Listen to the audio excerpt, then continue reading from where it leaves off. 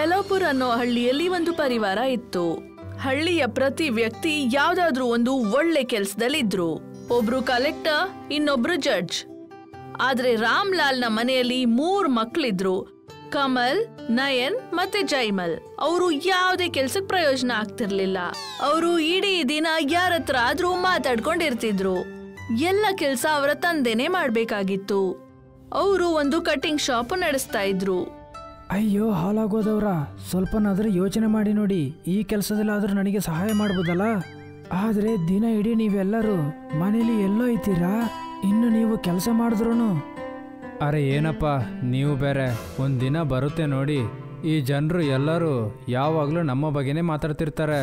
ಅಣ್ಣ ಸರಿಯಾಗಿ ಹೇಳ್ತಿದ್ದಾರೆ. ನನಗೆ ಆ ದಿನ ಹತ್ರ ಬರ್ತಿದೆ ಅಂತ ಅನಿಸ್ತಾ ಇದೆ. ಎಲ್ಲರೂ ನಮ್ಮನ್ನ ಎತ್ತಿ ಹೆಗ್ಲ ಮೇಲೆ ಇರಿಸ್ಕೊಂಡು ಆಚರಿಸ್ತಾರೆ.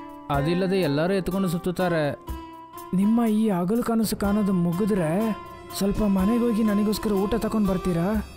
ಮೂರು ಅಣ್ಣ ತಮ್ಮಂದ್ರಿಗೆ ಅವ್ರ ತಂದೆ ಜೊತೆ ಕೆಲಸ ಮಾಡೋದು ಸ್ವಲ್ಪನೂ ಇಷ್ಟ ಇರಲಿಲ್ಲ. ಅವರು ಮೂರು ಜನ ಅವರ ಜಾಸ್ತಿ ಸಮಯವನ್ನ ವೃದ್ಧಾಶ್ರಮದಲ್ಲಿ ಕಳೀತಿದ್ರು. ಮತ್ತೆ ಅಲ್ಲಿ ಅವ್ರಿಗೆ ಸೇವೆ ಮಾಡ್ತಾ ಇದ್ರು. ಒಂದಿನ ಇದ್ದಕ್ಕಿದ್ದ ಹಾಗೆ ಭೂಕಂಪ ಬಂತು. ಮೂರು ಜನ ಆಶ್ರಮದಲ್ಲಿದ್ರು. ಭೂಕಂಪ ಬಂದ ಕೂಡಲೇ ಅಲ್ಲಿದ್ದಂಥ ವಯಸ್ಸಾದವ್ರನ್ನ ಹೊರಗಡೆ ಕಳಿಸ್ಬಿಟ್ರು ಮೂರು ಜನ ಸೇರಿ. ಎಲ್ರೂ ಸೇರಿ ಎಲ್ರ ಪ್ರಾಣವನ್ನ ಉಳಿಸ್ಬಿಟ್ರು. ಆಗ ಒಬ್ಬ ಮಾಯಾವಿ ವೃದ್ಧ ಅವ್ರಿಗೆ ಆಶೀರ್ವಾದ ಕೊಡ್ತಾರೆ. ನೀವು ಎಲ್ಲರೂ ಸೇರ್ಕೊಂಡು ನಮ್ಮಂತ ವಯಸ್ಸಾದವ್ರನ್ನ ಕಾಪಾಡಿದ್ದೀರಾ?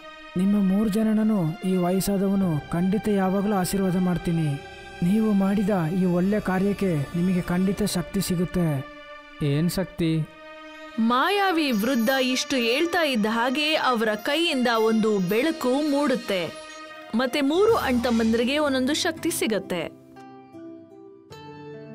ಯಾಕೋ ನನಗೆ ಒಂಥರ ಇದೆ. ನನ್ನ ಶರೀರ ನನಗೆ ತುಂಬ ಭಾರ ಅನಿಸ್ತಿದೆ. ಅದೇ ಥರ ಇವಾಗ ನನಗೆ ಅನಿಸ್ತಾ ಇದೆ. ಆದರೆ ಯಾಕೆ ಅನಿಸ್ತಿದೆ? ಆ ಸಮಯದಲ್ಲಿ ಜೈಮಲ್ ಅವನ ಕೈಯನ್ನ ಮುಂದೆ ಚಾಚ್ತಾ ಇದ್ದ ಹಾಗೆ ಅವನ ಕೈಯಲ್ಲಿ ಚುಂಬಕದ ಶಕ್ತಿ ಇದ್ದ ಕಾರಣ ಗ್ಲಾಸ್ ಅವನ ಕೈಗೆ ಬಂದ್ಬಿಡುತ್ತೆ. ಅರೆ ಏನಿದು ಆಶ್ಚರ್ಯ? ನಿನ್ನೊಳಗೆ ಅಯಸ್ಕಾಂತದ ತರ ಎಳೆಯುವ ಶಕ್ತಿ ಇದೆ. ನಯನ್ ಗ್ಲಾಸ್ ತಗೊಳಕ್ಕೆ ಅಂತ ಕೈನ ಮುಂದೆ ಚಾಚಿದ್ರೆ ಅವನ ಕೈಯಲ್ಲಿ ಮಿಂಚು ಬಂದ್ಬಿಡುತ್ತೆ. ಆಮೇಲೆ ಗ್ಲಾಸ್ ಗಾಳಿಯಲ್ಲಿ ತೇಲ್ತು. ಇದೆಲ್ಲ ಏನು? ಇದೆಲ್ಲ ಹೇಗೆ ನಡೀತಿದೆ? ನಮ್ಮ ಇಬ್ಬರ ಜೊತೆನೂ ಈ ತರದ ಶಕ್ತಿ ಇದೆ ಅಂದರೆ ನಿನ್ನ ಜೊತೆನೂ ಒಂದು ಶಕ್ತಿ ಇರುತ್ತೆ. ಕಮಲ್ ಅವನ ಕೈಯನ್ನ ತಿರುಗಿಸಿದ ಕೂಡಲೇ ಅವನ ಕೈಗಳಲ್ಲಿ ಬೆಂಕಿ ಬಂದೇ ಬಿಡುತ್ತೆ. ಅರೆ, ನಿಜವಾಗ್ಲೂ ಇದೊಂದು ಭಯಂಕರವಾದ ವಿಷಯನೇ. ಆದರೆ ಇದು ಹೀಗೆ ಇದ್ರೆ ನಮ್ಮಿಂದ ಸುಮಾರು ಜನಕ್ಕೆ ಸಹಾಯ ಮಾಡ್ಬೋದು. ಅವ್ರನ್ನ ನಮ್ಮಿಂದ ಕಾಪಾಡ್ಬೋದು. ಏನು ತಲೆ ಕೆಟ್ಟೋದ ಒಂಥರ ಮಾತಾಡ್ತಿದ್ಯಾ? ಪ್ರಪಂಚಕ್ಕೆ ಸಹಾಯ ಮಾಡ್ಲಿಕ್ಕೆ ನಮಗೆ ಈ ಶಕ್ತಿ ಸಿಕ್ಕಿರೋದು? ಮೊದಲು ಈ ಶಕ್ತಿಗಳನ್ನ ಮಾಡ್ಕೊಂಡು ನಮ್ಮ ಆಸೆನ ತೀರ್ಸ್ಕೊಳ್ವಾ, ಆಮೇಲೆ ಸಹಾಯ ಮಾಡೋಣ. ನಯನ್ಗೆ ಅವರ ಅಣ್ಣ ತಮ್ಮಂದ್ರು ಮಾಡ್ತಾ ಇದ್ದಿದ್ದು ಸ್ವಲ್ಪನೂ ಸರಿ ಅನ್ಸ್ಲಿಲ್ಲ. ಅದೇ ರೀತಿ ಆಯ್ತು. ಜೈಮಲ್ ಮತ್ತೆ ಕಮಲ್ ಅವರ ಶಕ್ತಿಗಳನ್ನ ತಪ್ಪಾಗಿ ಉಪಯೋಗಿಸಕ್ ಶುರು ಮಾಡ್ತಾರೆ. ಹೋಗು ಹೋಗು. ನಿನಗೆ ಅಯಸ್ಕಾಂತ ಶಕ್ತಿ ಇದೆ ಅಲ್ವಾ? ಅದರಲ್ಲಿ ಸುಮಾರು ಚಿನ್ನಗಳನ್ನ ಕದ್ಕೊಂಡು ಬಾ. ನಾನು ಈ ಬೆಂಕಿಯ ಶಕ್ತಿನ ಇಟ್ಕೊಂಡು ಬ್ಯಾಂಕಲ್ಲಿ ಹೋಗಿ ದರೋಡೆ ಮಾಡ್ಕೊಂಡು ಬರ್ತೀನಿ. ಸರಿ ಅಣ್ಣ. ಜೀವನ ಪೂರ್ತಿ ಈ ಗ್ರಾಮದ ಜನರ ಜೊತೆ ನಾವು ಬಯಸ್ಕೊಂಡಿದ್ದೀವಿ ಇವಾಗ ನಮಗೆ ಅದಕ್ಕೆ ಸೇಡ್ ತೀರಿಸ್ಕೊಳ್ಳಿಕ್ಕೆ ಒಳ್ಳೆ ಚಾನ್ಸ್ ಸಿಕ್ಕಿದೆ. ಜೈಮಲ್ ಮತ್ತೆ ಕಮಲ್ ಇಬ್ರು ಬ್ಯಾಂಕ್ ಲೂಟಿ ಮಾಡಕ್ಕೆ ಹೋಗ್ತಾರೆ. ಬ್ಯಾಂಕ್ ಒಳಗೆ ಹೋಗಿದ್ ಕೂಡ್ಲೆ ಕಮಲ್ ಅವನ ಶಕ್ತಿಗಳ ಪ್ರಯೋಗ ಮಾಡ್ತಾನೆ. ಅವನು ಕೈ ತಿರುಗಿಸಿದ ಕೂಡ್ಲೆ ಬ್ಯಾಂಕ್ ಅಲ್ಲಿನ ತಿಜೋರಿ ಹಾಗೆ ಬೆಂಕಿಯಿಂದ ಓಪನ್ ಆಗುತ್ತೆ. ಈ ಇಬ್ರು ಬ್ಯಾಂಕ್ನ ಲೂಟಿ ಮಾಡ್ತಾ ಇರುವಾಗ ನಯನ್ ಈಗ್ಲೂ ಕೂಡ ಜನರಿಗೆ ಸಹಾಯ ಮಾಡ್ತಾ ಇರ್ತಾನೆ. ಯಾವ ಹಳ್ಳಿಲಿ ವಿದ್ಯುತ್ ಸರಬರಾಜು ಕಡಿಮೆ ಇರುತ್ತೆ ಅಲ್ಲಿ ಹೋಗಿ ಅವನು ಸಹಾಯ ಮಾಡ್ತಾನೆ. ನಮ್ಮ ಮೂರು ಜನನ ಇನ್ನು ಮುಂದೆ ಯಾರಿಂದ ಏನು ಮಾಡ್ಲಿಕ್ಕಾಗಲ್ಲ. ಬನ್ನಿಯನ ನಾವು ಹೊರಡುವ. ಇವತ್ತು ನಾವು ಇಷ್ಟು ದರಡೆ ಮಾಡಿದ್ದು ಸಾಕು. ಆ ಇಬ್ರು ಅಣ್ಣ ತಮ್ಮಂದ್ರು ಮನೆಗೆ ಬಂದ ಕೂಡಲೇ ನಯನ್ ಆ ದುಡ್ಡು ಮತ್ತೆ ಒಡವೆ ಎಲ್ಲವನ್ನ ನೋಡಿ ಬಹಳ ಕೋಪಗೊಂಡು ಈ ರೀತಿ ಹೇಳ್ತಾನೆ. ನೀವಿಬ್ರು ಯಾಕೆ ಈ ಥರ ಎಲ್ಲ ಮಾಡ್ತಿದ್ದೀರಾ? ನ್ಯೂಸ್ ಪೇಪರ್ಲಿ ಟಿ ವಿಲಿ ಹಾಕಿ ನಮ್ಮ ಮಾನ ಮರ್ಯಾದೆ ತೆಗಿತಿದ್ದಾರೆ. ಯಾಕೆ ಹೋವರಾಗಿ ಮಾತಾಡ್ತಿದ್ಯಾ ಹೋಗು ನಮಗೋಗಿ ಹೋಗಿ ಊಟನ ರೆಡಿ ಮಾಡಿ ತಕೊಂಬಾ. ಇಷ್ಟನ್ನ ಕೇಳಿದ ಕೂಡಲೇ ನಯನ್ಗೆ ಕೋಪ ಬರುತ್ತೆ.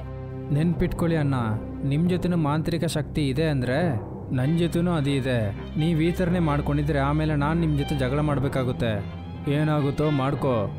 ಕಮಲ್ ಅವನ ಕೈಯನ್ನ ಮೇಲ್ ಮಾಡ್ತಾನೆ ಮತ್ತೆ ಅವನ ಕೈಯಿಂದ ಬೆಂಕಿ ಬರಕ್ ಶುರುವಾಗುತ್ತೆ. ಆ ಬೆಂಕಿ ನಯನ್ ಕಡೆ ಬರ್ತಾ ಇದ್ದ ಹಾಗೆ ನಯನ್ ಜಂಪ್ ಮಾಡಿ ಬೇರೆ ಕಡೆ ಹೊರಟೋಗ್ತಾನೆ. ಮತ್ತೆ ಆ ಬೆಂಕಿ ಸೋಫಾಗೆ ತಗ್ಲತ್ತೆ. ಮತ್ತೆ ಪೂರ್ತಿ ಸೋಫಾ ಸುಟ್ಟು ಹೋಗ್ಬಿಡತ್ತೆ. ಪ್ರಯತ್ನ ಚೆನ್ನಾಗಿದೆ ಅಂದ್ರೆ ಇವಾಗ ಇದನ್ನ ತಡೆದು ನೋಡಿ.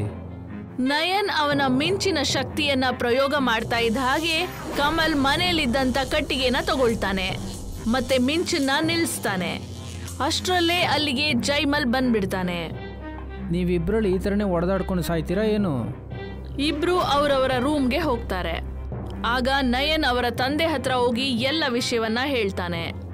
ಇವಾಗ ಹೇಳಿ ಅಪ್ಪ ನಾನು ಏನು ಮಾಡೋದು?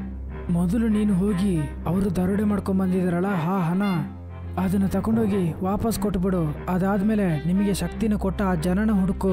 ಅವರಿಂದ ಮಾತ್ರ ನಿನಗೆ ಸಹಾಯ ಮಾಡ್ಲಿಕ್ಕಾಗುತ್ತೆ. ನಯನ್ ಅವರ ತಂದೆಯ ಮಾತನ್ನ ಕೇಳಿ ಇದ್ದಕ್ಕಿದ್ದ ಹಾಗೆ ಆಶ್ರಮಕ್ಕೆ ಹೋಗ್ತಾನೆ.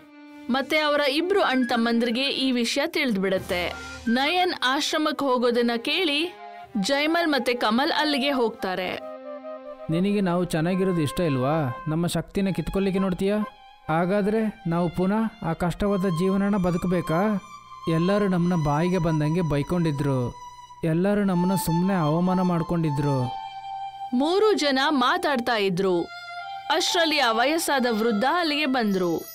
ನಾನು ನಿಮ್ಮ ಮೂರು ಜನಕ್ಕೆ ಶಕ್ತಿಗಳನ್ನ ಕೊಟ್ಟಿದ್ದು ನೀವು ಅದನ್ನ ಒಳ್ಳೆಯ ವಿಷಯಕ್ಕೆ ಉಪಯೋಗ ಮಾಡ್ತೀರಾ ಅಂತ. ನೀವು ನಮ್ಮನ್ನ ಭೂಕಂಪದಿಂದ ಕಾಪಾಡಿದ್ದೀರಾ. ಆದ್ರಿಂದ ಆ ಸಮಯದಲ್ಲಿ ನಿಮ್ಮ ನಿಯತನ ನಾನು ನೋಡಿದೆ. ನಾನು ನೀವು ಮೂರು ಜನ ಮಾತಾಡೋದನ್ನ ಕೇಳಿಸ್ಕೊಂಡೆ. ಆದ್ರೆ ನಯನ್ ಮಾತಲ್ಲಿ ನಿಜ ಇದೆ. ಹಾಗಾದರೆ ನೀವು ನಮ್ಮ ಶಕ್ತಿನ ಕಿತ್ಕೊಳ್ತೀರಾ? ನಿಮಗೆ ಅಷ್ಟು ಧೈರ್ಯ ಇದ್ದರೆ ಅದನ್ನು ತೆಗೆದು ತೋರಿಸಿ. ಕಮಲ್ ಮತ್ತೆ ಜೈಮಲ್ ಆ ಮಾಯಾವಿ ವೃದ್ಧನ ಮೇಲೆ ದಾಳಿ ಮಾಡ್ತಾರೆ. ಕಮಲ್ ಅವನ ಬೆಂಕಿಯ ಶಕ್ತಿಯಿಂದ ಮತ್ತೆ ಜೈಮಲ್ ಅವನ ಚುಂಬಕ ಶಕ್ತಿಯಿಂದ ಕಮಲ್ ಬೆಂಕಿನ ಆ ವಯಸ್ಸಾದ ವೃದ್ಧನ ಕಡೆ ಬಿಸಾಕ್ದಾಗ ಅವ್ರಿಗೆ ಅದರಿಂದ ಏನೂ ಆಗೋದಿಲ್ಲ. ಏನು ನಡೀತಿದೆ? ಬೆಂಕಿಯಿಂದ ಅವ್ರನ್ನ ಏನು ಮಾಡ್ಲಿಕ್ಕಾಗ್ತಿಲ್ವಲ್ಲ ನಾನು ನಾನಿವಾಗ ಟ್ರೈ ಮಾಡ್ತೀನಿ. ಜೈಮಲ್ ಅವನ ಚುಂಬಕ ಶಕ್ತಿಯ ಪ್ರಯೋಗ ಮಾಡ್ತಾ ಇದ್ದ ಹಾಗೆ ಅಕ್ಕಪಕ್ಕ ಇದ್ದಂತ ಕಬ್ಬಿಣದ ಎಲ್ಲ ಸಾಮಾನುಗಳು ಅವನ ಶರೀರಕ್ಕೆ ಬಂದು ಅಂಟ್ಕೊಂಡ್ವು. ಅವನು ಕೈಯಿಂದ ಸನ್ನೆ ಮಾಡಿದಾಗ ಎಲ್ಲ ಕಬ್ಬಿಣದ ವಸ್ತುಗಳು ಆ ವೃದ್ಧನ ಹತ್ತಿರ ಹೋಗ್ತಾ ಇದ್ವು. ಎಲ್ಲ ಕಬ್ಬಿಣದ ವಸ್ತುಗಳು ಜೋರಾಗಿ ಗಾಳಿಯಲ್ಲಿ ಹೋದ್ವು ಮತ್ತೆ ಅವ್ರ ಹತ್ರ ಹೋಗಿ ಅಲ್ಲೇ ನಿಂತ್ಕೊಂಡ್ವು. ಅರೆ ಇದು ಹೇಗೆ ಸಾಧ್ಯ? ಇದು ಹೇಗೆ ನಡೀತಿದೆ? ಆಗ ಆ ಮಾಯಾವಿ ವೃದ್ಧ ವ್ಯಕ್ತಿ ಒಂದು ಉಪಾಯ ಹೂಡ್ತಾರೆ. ಮತ್ತೆ ಅವರು ಶಾಲ್ನ ತೆಗೆದು ಅವ್ರ ಕಡೆ ಅವರ ಕೈಯನ್ನ ತೋರಿಸ್ಕೊಂಡು ಅವರ ಶಕ್ತಿಗಳನ್ನ ಪ್ರಯೋಗ ಮಾಡ್ತಾರೆ. ಇಬ್ರು ಅಣ್ತಮ್ಮಂದ್ರ ಮೇಲೆ ಎಷ್ಟು ಜೋರಾಗಿ ಬೆಳಕು ಬಂತು ಅಂದ್ರೆ ಇಬ್ರು ಆ ಬೆಳಕಿಂದ ಅಜ್ಞಾನ ತಪ್ಪಿಬಿಡ್ತಾರೆ ನಮ್ಮನ್ನ ಕ್ಷಮಿಸ್ಬಿಡಿ ನಾವು ತಪ್ಪು ಮಾಡಿಬಿಟ್ವಿ. ಇವರ ಶಕ್ತಿಗಳನ್ನ ನಾನು ವಾಪಸ್ ತಕೊಂಡೆ. ಆದ್ರೆ ನಿನ್ನ ಶಕ್ತಿನ ನೀನು ಉಪಯೋಗಿಸ್ಕೊಳ್ಬೋದು. ಒಳ್ಳೆದಕ್ಕೆ ಮಾತ್ರ ಉಪಯೋಗ ಮಾಡು. ಒಂದು ವೇಳೆ ನೀನು ಅದನ್ನ ತಪ್ಪು ಕಾರ್ಯಕ್ಕೆ ಉಪಯೋಗಿಸಿದ್ರೆ ಆಮೇಲೆ ನಿನಗೂ ಇದೇ ಪರಿಸ್ಥಿತಿ. ತುಂಬ ಧನ್ಯವಾದ. ನಾನು ಎಲ್ಲರಿಗೆ ಸಹಾಯ ಮಾಡಲಿಕ್ಕೋಸ್ಕರನೇ ಈ ಶಕ್ತಿನ ಉಪಯೋಗಿಸ್ತೀನಿ. ಮಾಯಾವಿ ವೃದ್ಧ ವ್ಯಕ್ತಿ ಅಲ್ಲಿಂದ ಹೊರಟ್ಬಿಡ್ತಾರೆ. ಮತ್ತೆ ಜೈಮಲ್ ಮತ್ತೆ ಕಮಲ್ಗೆ ಮಾರನೇ ದಿನ ಜ್ಞಾನ ಬರುತ್ತೆ. ಮತ್ತೆ ಅವರಿಗೆ ಅವರ ತಪ್ಪಿನ ತುಂಬಾನೇ ಅರಿವಾಗುತ್ತೆ. ನಯನ್ ಜನರಿಗೆ ಸಹಾಯ ಮಾಡಿಕೊಂಡು ಜೀವನ ವ್ಯತೀತ ಮಾಡ್ತಾನೆ. ಒಂದು ಹಳ್ಳಿಯಲ್ಲಿ ನಿರ್ಮಲ್ ತನ್ನ ಅವಳಿ ಜವಳಿ ಮಕ್ಕಳು ಸೋನು ಹಾಗೂ ಮೋನು ಜೊತೆ ವಾಸ ಇದ್ರು. ಸೋನು ತುಂಬಾ ದಪ್ಪ ಹಾಗೂ ಕುಳ್ಳಕ್ಕಿದ್ದ. ಹಾಗೆ ಮೋನು ಸಣ್ಣಗೆ ಮತ್ತು ಉದ್ದ ಇದ್ದ. ಇದೇ ಕಾರಣದಿಂದ ಮೋನು ಯಾವಾಗ್ಲೂ ಮನೇಲೇ ಇರ್ತಾ ಇದ್ದ. ಯಾರು ಅವನ ಮುಖವನ್ನ ನೋಡಿರ್ಲಿಲ್ಲ. ಯಾಕಂದ್ರೆ ಅವನಿಗೆ ತನ್ನ ಮೇಲೆ ತನಗೆ ನಾಚಿಕೆ ಆಗ್ತಿತ್ತು. ಮತ್ತು ಸೋನು ತನ್ನ ತಾಯಿ ಜೊತೆ ಮಾರ್ಕೆಟ್ ಅಲ್ಲಿ ತರಕಾರಿ ಮಾರ್ತಿದ್ದ. ಒಂದಿನ ನಿರ್ಮಲ್ ಮಾರ್ಕೆಟ್ಗೆ ತರಕಾರಿ ಮಾರಕ್ ಹೋಗಿರ್ಲಿಲ್ಲ. ಸೋನು ಒಬ್ನೇ ತರಕಾರಿ ಮಾರ್ತಿದ್ದ. ಆಗ ಅಲ್ಲಿಗೆ ತೋಟದ ಮಾಲೀಕ ರಾಕೇಶ್ ಬಂದ. ಏಯ್, ಸೋನು, ತರಕಾರಿನೇ ಮಾರ್ತೀಯಾ? ಇಲ್ಲ ಬೇರೆ ಏನಾದರೂ? ತಾತ, ಈಗ ಬರೀ ತರಕಾರಿನೇ ಇದೆ. ಅಯ್ಯೋ, ನಾನು ಹೇಳ್ತಾ ಇದ್ದೀನಿ ನನ್ನ ತೋಟದಲ್ಲಿ ಮಾವಿನಕಾಯಿ ಬಿಟ್ಟಿದೆ. ಅದನ್ನು ತಂದು ಇಲ್ಲಿ ಮಾರು. ಇಬ್ರು ಸಮ ಸಮ ಹಂಚ್ಕೊಳ್ಳೋಣ. ಹೇಳು, ಇದರಿಂದ ಏನಾರು ತೊಂದರೆ ಇದೆಯಾ? ಇಲ್ಲ ಇಲ್ಲ ತಾತ, ಇದ್ರಲ್ಲಿ ಏನು ತೊಂದರೆ ಇಲ್ಲ. ಆದ್ರೆ ಒಂದ್ಸಲ ನನ್ನ ತಾಯಿ ಹತ್ರ ಕನ್ಫರ್ಮ್ ಮಾಡಿನೇ ನಿನಗೆ ಹೇಳ್ತೀನಿ. ಸರಿ, ಹಾಗಾದ್ರೆ ಹೇಳು. ಆದ್ರೆ ಸ್ವಲ್ಪ ಬೇಗನೆ ಹೇಳು. ಇಲ್ಲ ಅಂದ್ರೆ ಬೇರೆಯವ್ರಿಗೆ ಕೊಟ್ಬಿಡ್ತೀನಿ ರಾಕೇಶ್ ಈ ಮಾತನ್ನ ಹೇಳಿ ಅಲ್ಲಿಂದ ಹೊರಟೋಗ್ತಾನೆ. ಸಂಜೆ ಸೋನು ಮನೆಗೆ ಹೋಗಿದ ತಕ್ಷಣ ನಡೆದಿದ್ದೆಲ್ಲ ಅಮ್ಮಂಗೆ ಹೇಳ್ತಾನೆ. ಅಮ್ಮ ಆ ರಾಕೇಶ್ ತಾತ ಬಂದಿದ್ರು. ಹಾಗೂ ಅವ್ರು ಹೇಳ್ತಾ ಇದ್ರು ಅವರ ತೋಟದ ಮಾವಿನಕಾಯಿನ ನಾವು ತಗೊಂಡ್ ಬಂದು ಮಾರಾಟ ಮಾಡಿ ಅಂತ ಹಾಗೂ ಲಾಭನ ಸಮ ಸಮ ಹಂಚಕ್ಕೆ. ನೋಡು ಸೋನು ಇದ್ರಲ್ಲಿ ನನ್ಗೇನೋ ತೊಂದ್ರೆ ಕಾಣಿಸ್ತಿದೆ. ಆ ರಾಕೇಶ್ ಒಬ್ಬ ಮೋಸಗಾರ. ನನಗೆ ಅವನ್ ಮೇಲೆ ನಂಬಿಕೆ ಇಲ್ಲ. ಆದ್ರೆ ಅಮ್ಮ ಮಾವಿನಕಾಯಲ್ಲಿ ಯಾರು ಮೋಸ ಮಾಡ್ತಾರೆ? ಮೋಸಗಾರನ ಕೆಲಸ ಯಾವಾಗ್ಲೂ ಮೋಸ ಮಾಡೋದೆ.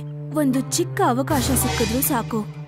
ಅಮ್ಮ ನೀವು ಬರೀ ನಿಶ್ಚಿಂತೆಯಾಗಿರಿ. ಹಾಗೂ ನೋಡ್ತಾ ಇರಿ ಈ ವ್ಯಾಪಾರ ಎಷ್ಟು ಲಾಭ ಕೊಡುತ್ತೆ ಅಂತ. ಸರಿ ಸೋನು ನೀನು ನನ್ ಮಾತನ್ನ ಕೇಳಿಲ್ಲ ಅಂದ್ರೆ ಪರವಾಗಿಲ್ಲ. ಸರಿ ಅಮ್ಮ ನಾನು ಈಗ್ಲೇ ಹೋಗಿ ರಾಕೇಶ್ ಅಜ್ಜನಿಗೆ ಹಾ ಅಂತೀನಿ. ಸೋನು ಅಲ್ಲಿಂದ ಹೊರಟೋದ. ಮಾರನೇ ದಿನ ಬೆಳಿಗ್ಗೆ ರಾಕೇಶ್ನ ತೋಟದಿಂದ ಮಾವಿನ ಹಣ್ಣನ್ನ ತಂದ. ಸೋನು ಅವತ್ತು ತರಕಾರಿಯನ್ನ ಹಾಗೂ ಮಾವಿನ ಹಣ್ಣನ್ನ ದೊಡ್ಡ ಬುಟ್ಟಿಯಲ್ಲಿ ಇಟ್ಟ. ತಾಜಾ ಮಾವಿನ ಹಣ್ಣನ್ನ ನೋಡಿ ಜನರೆಲ್ಲ ಆಕರ್ಷಿತವಾಗಿ ಅಲ್ಲಿಗೆ ಬರ್ತಾರೆ. ಅಣ್ಣ ಮಾವಿನಕಾಯಿ ಹೇಗೆ? ಇಪ್ಪತ್ತು ರೂಪಾಯಿ ಕೆಜಿ. ಅರೆ ಸ್ವಲ್ಪ ಕಮ್ಮಿ ಮಾಡಿ. ಅಣ್ಣ ಒಳ್ಳೆ ತಾಜಾವಾಗಿದೆ. ಇಪ್ಪತ್ತು ರೂಪಾಯಿಗೆ ಮಾರೋದು. ಸರಿ ಹಾಗಾದ್ರೆ ನಾನು ನಿಮ್ಮ ವ್ಯವಹಾರದ ಕಾರಣದಿಂದಾನೇ ಇದನ್ನ ತಗೊಳ್ತಾ ಇದ್ದೀನಿ. ಆ ವ್ಯಕ್ತಿ ಮಾವಿನ ಹಣ್ಣನ್ನ ಖರೀದಿ ಮಾಡ್ಕೊಂಡು ಹೋದ. ಮತ್ತಷ್ಟು ಜನ ಅಲ್ಲಿಗೆ ಬರೋಕ್ ಶುರು ಮಾಡಿದ್ರು. ಸ್ವಲ್ಪ ಹೊತ್ತಲ್ಲೇ ಮಾವಿನ ಹಣ್ಣೆಲ್ಲ ಖಾಲಿ ಆಗೋಯ್ತು. ಅದ್ರಿಂದ ಸೋನುಗೆ ಬಹಳ ಖುಷಿ ಆಯ್ತು. ಅದೇ ರೀತಿ ಸೋನು ಬೇರೆ ತರಕಾರಿಗಳನ್ನು ಮಾರ್ಬಿಟ್ಟ. ಅಬ್ಬ ಇವತ್ತೆಂತೂ ಒಳ್ಳೆ ವ್ಯಾಪಾರ ಆಗಿದೆ.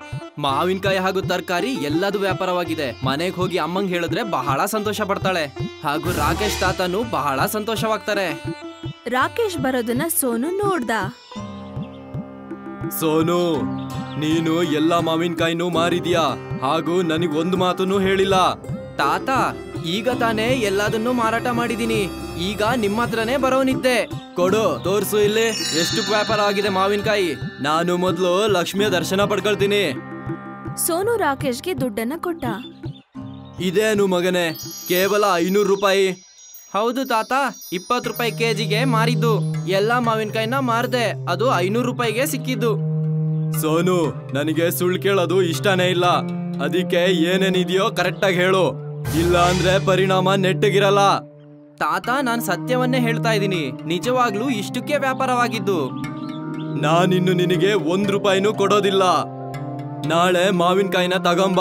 ಹಾಗೂ ನ್ಯಾಯವಾಗಿ ವ್ಯಾಪಾರ ಮಾಡು. ಹಾಗೂ ನಾಳೆನೆ ನಿನಗೆ ದುಡ್ಡು ಸಿಗುತ್ತೆ. ಇವತ್ತು ನೀನು ನನಗೆ ಮೋಸ ಮಾಡಿದ್ಯಾ? ರಾಕೇಶ್ ದುಡ್ಡನ್ನ ತಗೊಂಡು ಅಲ್ಲಿಂದ ಹೊರಟೋಗ್ತಾನೆ. ಸೋನು ಪಾಪ ಬೇಜಾರಿಂದ ನೋಡ್ತಿರ್ತಾನೆ. ಅಮ್ಮ ಸತ್ಯವನ್ನೇ ಹೇಳ್ತಾ ಇದ್ಲು. ರಾಕೇಶ್ ತಾತ ಮೋಸಗಾರ. ನಾನೇ ಅವಳ ಮಾತನ್ನ ಕೇಳಲಿಲ್ಲ. ಸೋನು ಮನೆಗ್ ಹೋದ್ರು ಅವ್ರ ಅಮ್ಮನ ಹತ್ರ ಈ ವಿಷಯ ಹೇಳಿರ್ಲಿಲ್ಲ. ಮಾರನೇ ದಿನ ಮಾವಿನ ಹಣ್ಣಿನ ತೋಟಕ್ಕೆ ಹೋಗಿ ಬಹಳ ಮಾವಿನ ಹಣ್ಣುಗಳನ್ನ ತಗೊಂಡ್ ಬಂದು ಒಳ್ಳೆ ಬೆಲೆಯನ್ನ ಇಟ್ಟು ಮಾರ್ತಾನೆ. ಸಂಜೆ ರಾಕೇಶ್ ಬಂದ. ಸೋನು ಇವತ್ತಿನ ಹಣ ಕೊಟ್ಬಿಡು. ತಗಳಿ ತಾತ. ಇವತ್ತು ಪೂರಾ ಆರ್ನೂರು ರೂಪಾಯಿ ಆಗಿದೆ. ಇದರ ಅರ್ಥ ನಿನ್ನೆ ಕೂಡ ನೀನು ಇಷ್ಟೇ ಸಂಪಾದನೆ ಮಾಡಿದ್ದೆ. ಇಲ್ಲ ತಾತ ಇವತ್ತು ನಾನು ಮಾವಿನಕಾಯಿ ಜಾಸ್ತಿ ತಂದಿದ್ದೆ. ಹಾಗಾದ್ರೆ ಇವತ್ತು ನೀನು ಜಾಸ್ತಿ ಮಾವಿನಕಾಯಿನ ಮಾರಿದೀಯಾ ಅಲ್ವಾ? ಇಲ್ಲ ಇಲ್ಲ. ನಾನ್ ನಿನಗೆ ಒಂದ್ ರೂಪಾಯಿನೂ ಕೊಡೋದಿಲ್ಲ. ನೀನು ದಿನೇ ದಿನೇ ನನಗ್ ಮೋಸ ಮಾಡ್ತಾ ಇದೀಯಾ? ಹಾಗೂ ಸುಳ್ಳು ಹೇಳ್ತಿದ್ಯಾ? ಇಲ್ಲ ಇಲ್ಲ. ರಾಕೇಶ್ ಸ್ವಲ್ಪನೂ ದುಡ್ಡು ಬಿಡ್ದೆ ಎಲ್ಲದನ್ನು ಎತ್ಕೊಂಡು ಹೋದ. ಬೇಜಾರ್ ಮಾಡ್ಕೊಂಡು ಸೋನು ಮನೆಗ್ ಬಂದ. ಸೋನು ಬೇಸರವಾಗಿದ್ದಿದ್ ನೋಡಿ ಅವ್ರ ಅಮ್ಮ ಕೇಳ್ತಾರೆ ಏನಾಯ್ತು ಸೋನು? ನೀನಿಷ್ಟು ಬೇಜಾರಾಗಿ ಯಾಕಿದ್ಯಾ ಅಮ್ಮ ನಾನ್ ನಿನ್ ಮಾತನ್ನ ಕೇಳಬೇಕಿತ್ತು. ರಾಕೇಶ್ ತಾತ ನೀನ್ ಹೇಳ್ದಾಗೆ ಮಾಡ್ದ. ಸೋನು ನಡೆದ ವಿಷಯ ಎಲ್ಲ ಹೇಳ್ತಾನೆ.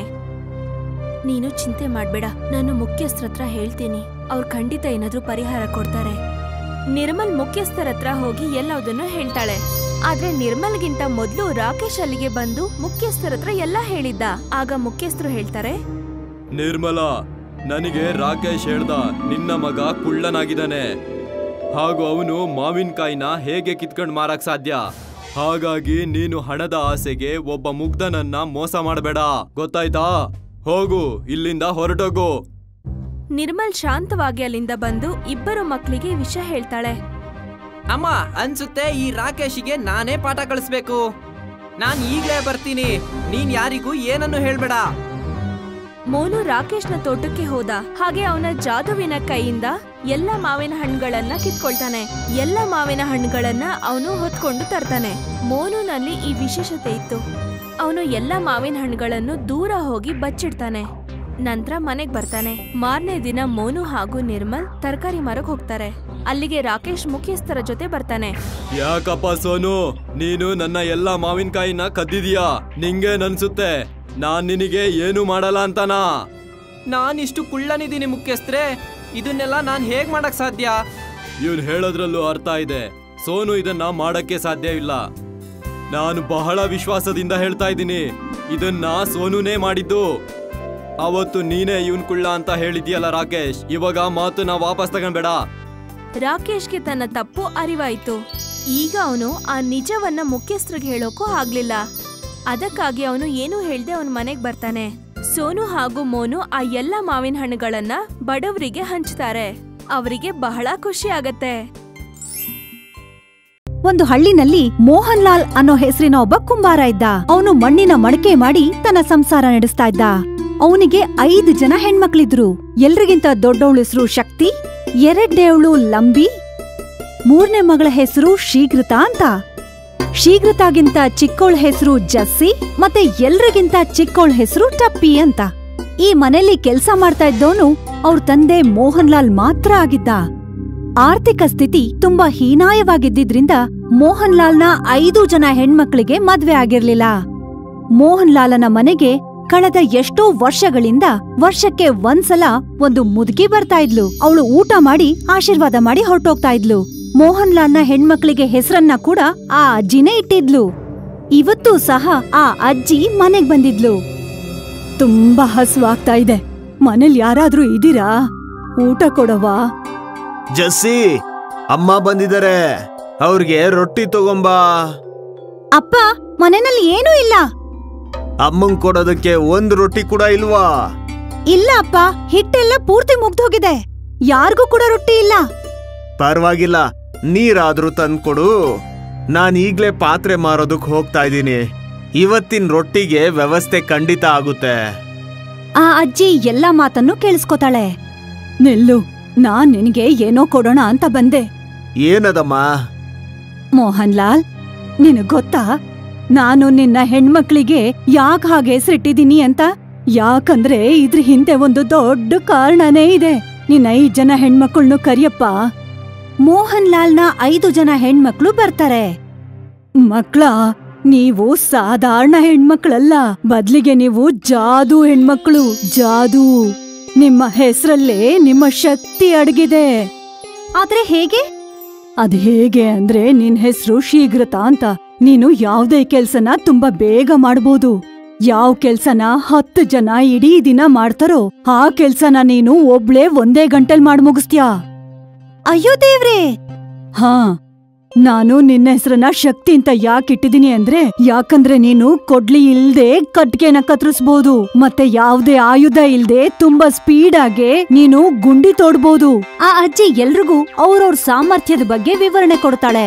ಮಾರನೇ ದಿನ ಈಗ ನಮ್ ತಂದೆಗೆ ತುಂಬಾ ವಯಸ್ಸಾಗಿದೆ.